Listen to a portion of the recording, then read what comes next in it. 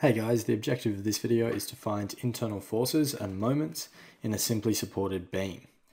So if we look at this example, we've been asked to find the axial, the shear, and the bending at one meter. So we're going to take one meter from the left side. So what we have here is we have our simply supported beam that's being loaded with 5 newton per meter uniformly distributed load. And we also have a 10 newton force um, acting at the right side uh, pulling outwards. So our first step will be to draw the free body diagram for this.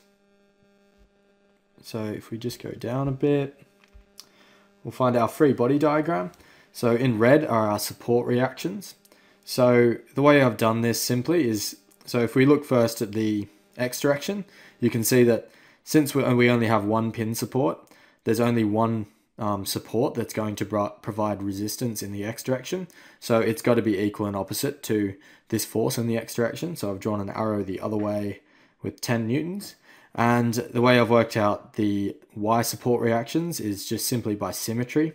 So we have 5 newton per meter force, which acts over 4 meters. So that's a total of 20 newtons um, if we were to convert this into a point load.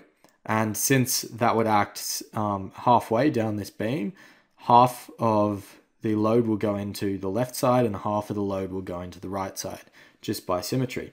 So that's where our tens come from. So moving on from that point, our next step